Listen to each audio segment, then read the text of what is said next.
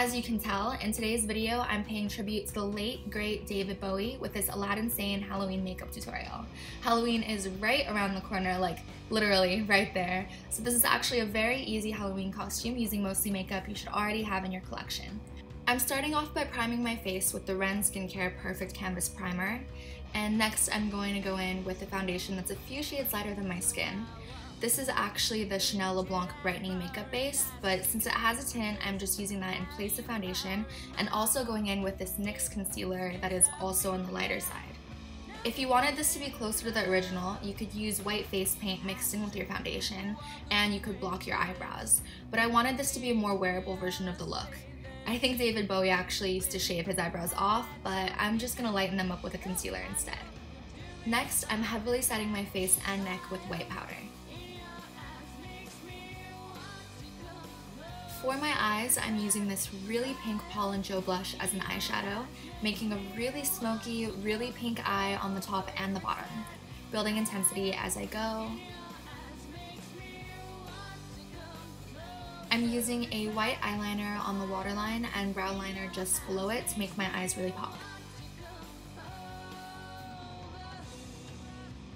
David Bowie's face is really pink in the iconic photo, so I'm going in with a pink Shu Uemura blush and dusting that all over my face. Then I'm going in with an even hotter pink blush from Smashbox to heavily contour my cheeks, nose, chin, and temples. Layering and mixing blush darker and darker as I blend. Can't resist a highlighter moment, even for Bowie, going in with a highlighter on all the high points of my face, collarbone, and shoulders. Using a metallic hot pink lipstick from CoverGirl to finish off the base makeup. On to the lightning bolt, the main attraction, I'll be tracing it out on the right side of my face with red face paint and an angled makeup brush. I'm going really light-handed at first to make sure I get the shape straight, and then filling it in.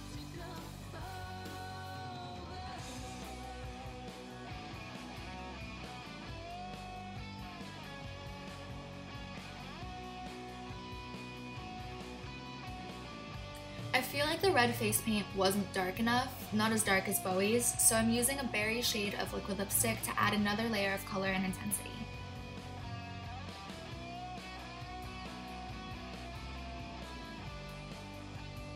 If you need to clean up and sharpen your lines, don't worry. I'm going in with a makeup remover wipe to fix some of the angles I'm not happy with. Now trace some blue to the right side of the lightning bolt. I'm using a blue eye pencil from Lancome.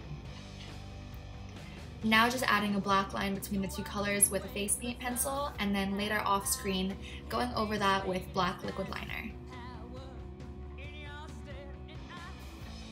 Halloween isn't complete without some really extra lashes and a touch of mascara. And for our finishing touch, Bowie's Lightning Bolt had almost a wet look to it, so I'm just adding some extra highlighter.